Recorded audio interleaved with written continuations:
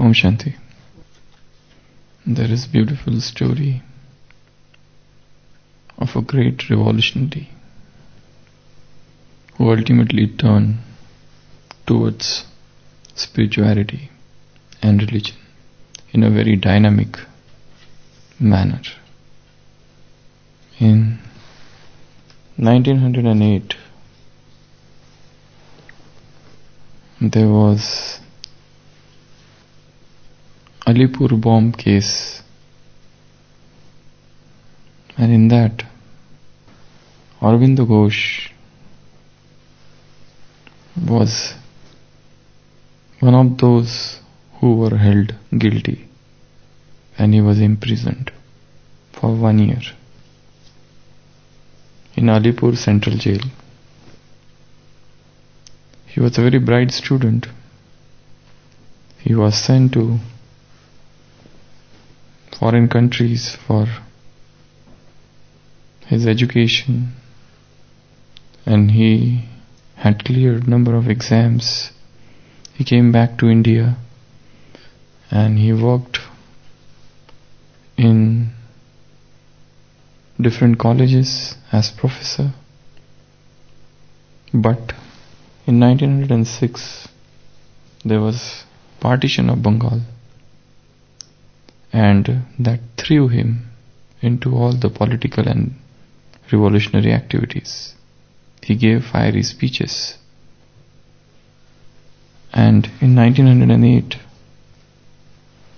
he was imprisoned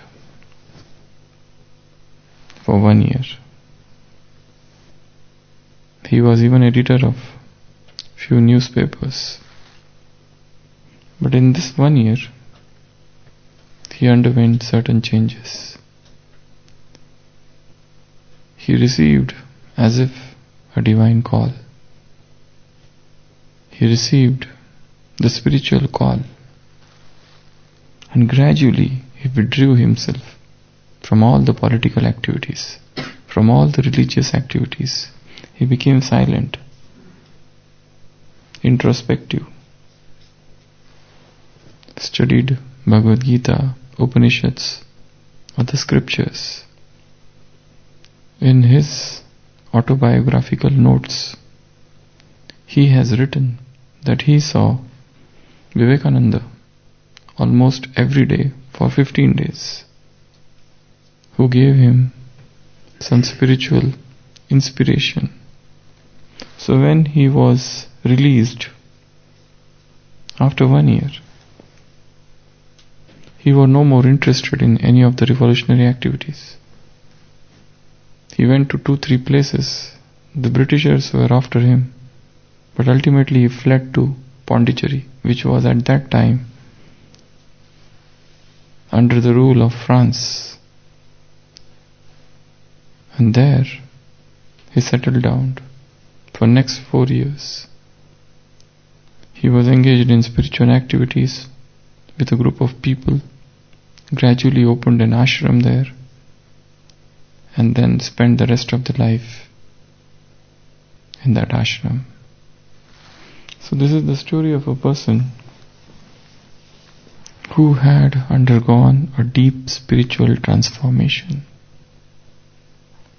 in that cell, in that filthy cell, in that unfavorable atmosphere, and gradually developed disinterest, vairagya for everything. He understood that there is something which is to be done within. There is some vacuum which cannot be filled by the external freedom. The political freedom is the weakest of all freedom. But the real bondage, but the real prison is within us. The passions, the vices. Unless and until one get rid, gets rid of all of these attachments, one cannot become actually free. The real Swatantrata, the real freedom starts from within. And that was his only passion after that. So this sense of disinterest, this sense of detachment came to him in that silence, in that solitude, in that introspective stage. It was the divine call to be a yogi, to be a rishi. And Baba wants us, Baba also wants us to become a rishi, a yogi. Rishi means seer. Those who see, those who have got divine visions, drishta, those who can see, peep into the future, peep into the past, peep into all three aspects of time. And Rishi is somebody who is filled with disinterest, vairagya. In today's blessing, Baba said, May you be one who has unlimited disinterest, behad vairagya, and who uses all facilities while being unattracted by them and detached. To be one with unlimited disinterest means not to be attached to anything and to be constantly loving to the Father. So this detachment, Nyarapan, from everything of the world and this Pyarapan, loving only to one Father. This love makes you uniquely detached. If you are not loving to the Father, you cannot be detached and you will have some attachment.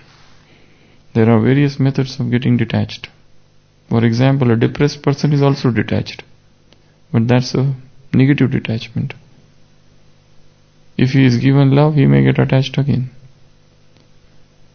Somebody is deceived by somebody, that person develops detachment.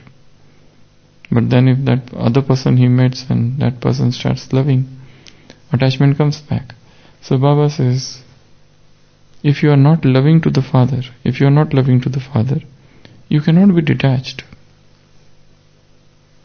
For Nyarapan, you need the Pyarapan, you need this loving, love towards God. Those who are loving to the Father remain beyond all attractions. That is, they remain detached. If you are attached to the Father, automatically the result is detachment from everything. Nothing can attract you. This is said to be the stage of being immune, nirlep sthiti. Nirlep means immune. You develop that immunity, you become insulated. Nothing can affect you, nothing can touch you. You become impregnable. That nothing can penetrate, impenetrable. And not being not being one who is going to be influenced by the limited attractions. Those who use some creation or facilities while being immune to them are Rajrishi, who have unlimited disinterest. So, Baba wants us to become Raj Rishi. Raj Rishi means who is detached. Raj Rishi means one who is loving only to the Father. Raj Rishi means who has got unlimited disinterest. Raj Rishi means who is immune. Rajrishi means not attracted by anything of this world. So we'll discuss something about Rajrishi.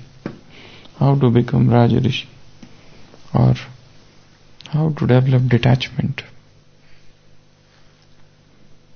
In this Brahmin life, if one wants to progress at a very fast pace, only two things are needed. One is purity, very high purity. Because with purity, yoga will become very easy. And second is vairagya, detachment, dispassion, disinterest. the intense the vairagya, the intense the disinterest, you will speed, the progress would be very fast. And if a soul is attached to hundred things, persons, things, places, events, situations, circumstances, desires, ambitions,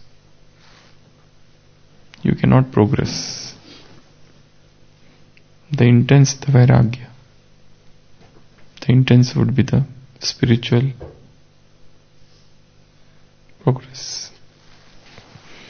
And to develop this disinterest, you need to understand things. And the best thing to understand is the defects or damages caused by attachment. There are certain defects or damages, disadvantages in all attachments, especially sensual pleasures, especially bodily attachment, especially if suppose somebody is getting attached to some person. We might give spiritual reasons, but attachment is attachment. A sister may get attached to another sister, staying in the same center. A brother may get attached to another brother, staying in the same room or in the same department. A brother may get attached to senior sister because of her sustenance. A senior sister may get attached to junior brother because he is very loving and totally dedicated. A young sister may get attached to young brother because they work together and share service responsibilities. However, pure, all these bonds may appear on the surface. There is underlying attachment. An attachment makes one restless. Attachment leads to restlessness. Attachment leads to expectations. Ultimately, breaking of expectation leading to sorrow. And one gets disheartened. The intense the attachment, the more would be the pain. Pain of separation. So, all the attachments have certain defects. First, they cause addiction. We get addicted to people, persons. If you are working, you want that person together. If you are going somewhere, you want that person to be together. If somebody is going to Murli, we are waiting for that person to come. Then only we'll go. If you are waiting for yoga, going for yoga, we wait for that person. Going for walk, we need somebody. And that's a very subtle attachment to persons, things, to some eatables, anything. Attachment can be to anything. Baba is saying creation and facility, sadhan, rachna. One can get attached to them.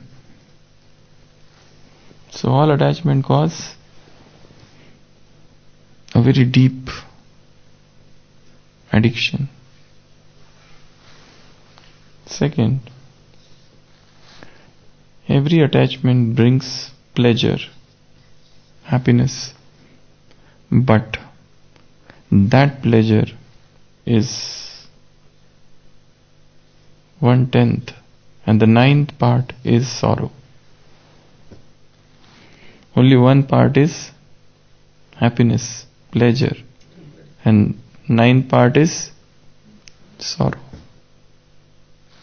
Third, all attachment bring temporary happiness, no permanent happiness. Very short time, short lasting. And after that, that happiness turns into sorrow. In Bhagavad Gita, there is one statement where God says, All happiness which are like nectar in the in the beginning, they become poison at the end. All happiness which is like poison in the beginning, they turn into nectar in the end. So this is all temporary, only for a short while. After that, there is a huge period of unhappiness. So know well that this is a very temporary happiness, very short lasting happiness. This attachment could be to anything, as I said, to persons, things, objects, events, memories, future anxieties, future worries, or anything. Anything. Another thing about attachment is that all attachment leads to craving. If you don't get that object, it leads to intense craving. You start missing that person, that thing. Suppose person is eating, for example, which is the most favorite dish? hmm Something sweet, jalebi, almost every day. Okay, for one month. After every lunch, he is served one jalebi. Now, after one month, he is not served. What happens? He starts missing. A craving starts inside. A craving is created. Talap. So all attachment lead to craving. And cravings are very intense. And don't think that craving are just psychological. They are psychosomatic. They affect body and psyche, both mind and body. They would the body will demand it. Just as lust leads to sensual craving.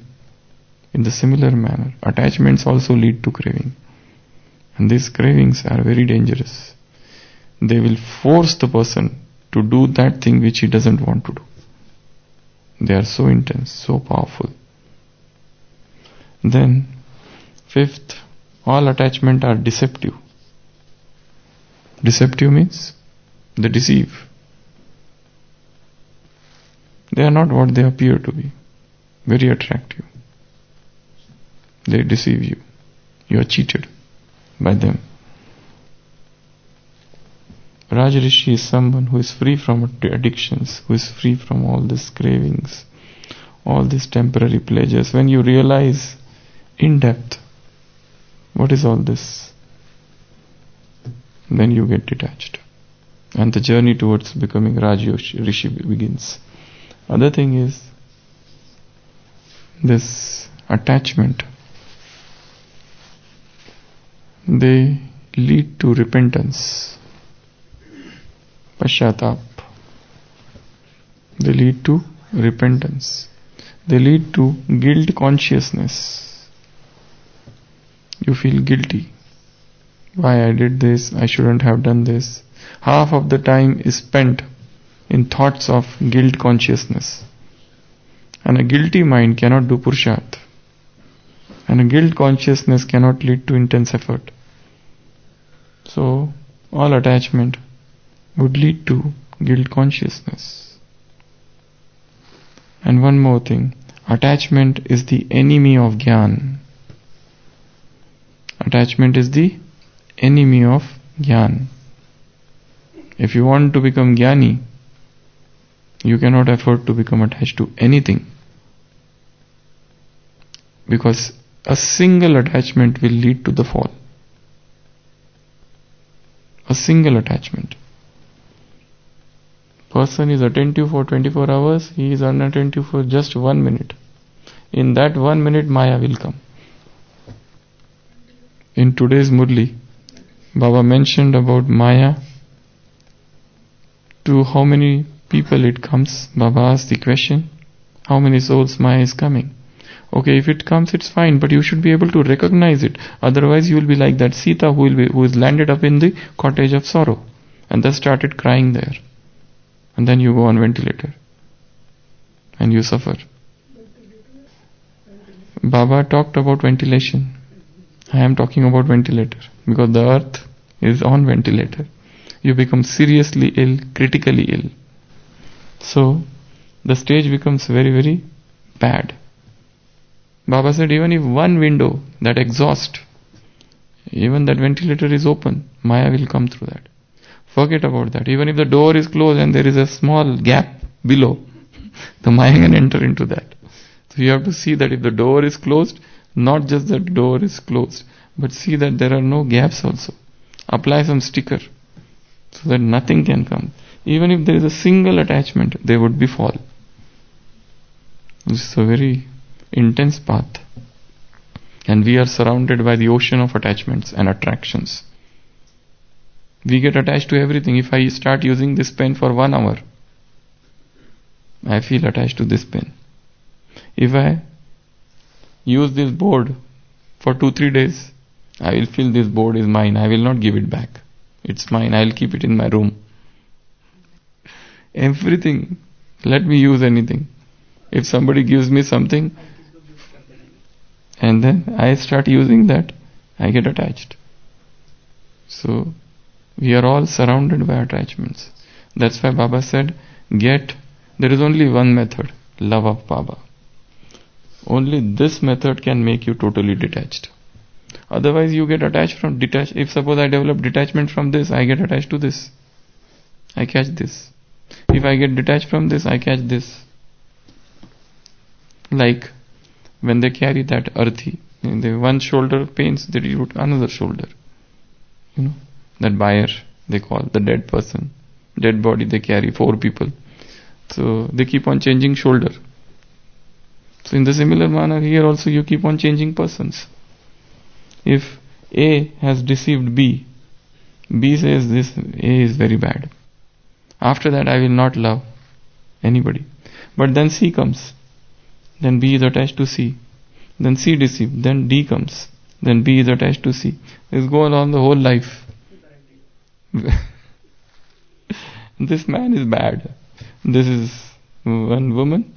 She is deceived by this man. She says that this man is bad. I don't want man. But then another man comes. She is attached to that.